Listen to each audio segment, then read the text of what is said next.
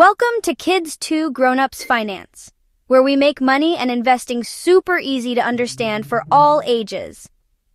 Have you ever heard your parents or a news reporter talk about something called GDP? It sounds kind of boring, right? But what if I told you it's actually one of the most important numbers for a whole country? It's like a giant report card for a country's economy.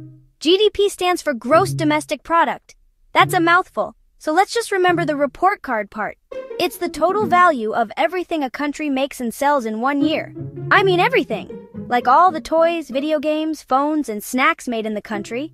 And all the services too. Like your teacher teaching a class, the person who cuts your hair, or the movie you watch at the theater. So, when the GDP number goes up, it's a good sign. It means the country is making more stuff, and people are busy working, which is a sign of a healthy economy. When it goes down, it might mean the economy is slowing down and we need to pay closer attention. Now, there are two main types of GDP, and this is where it gets a little bit trickier, but we can handle it.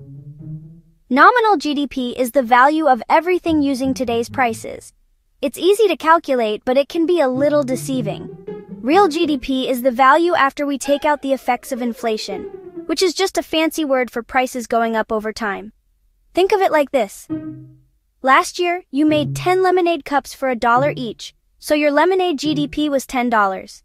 This year, you still made 10 cups, but you sold them for $2 each. Your nominal GDP would be $20, but you didn't actually make more lemonade. Your real GDP would be the same because you made the same amount of stuff. Real GDP is super important because it tells us if a country is actually producing more, not just if prices are higher. So how do we get this big number? We add up four main things. Consumer spending.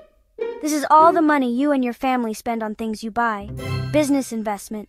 This is the money companies spend to build new factories, buy new computers, or invent new things. Government spending. This is the money the government spends on things like building roads, paying teachers, and keeping our schools running. Net exports. This is a little tricky. It's the money we get from other countries buying our stuff, minus the money we spend on their stuff. We add all those up, and that gives us the big GDP number. It's that simple. GDP doesn't count happiness, clean air, or free work like your parents cooking dinner. So a high GDP doesn't always mean people are happy or healthy. And that's GDP, the big scorecard for a country's economy. Now, the next time you hear grown-ups talking about GDP or see a reporter talk about it on the news, you'll know exactly what they mean. If you enjoyed this video, give it a big thumbs up, hit subscribe, and click the bell so you never miss our fun finance lessons. And hey, share this with a friend so they can sound smart too. Thanks for watching Kids 2 Grown Ups Finance, where money isn't scary, it's fun. See you in the next adventure.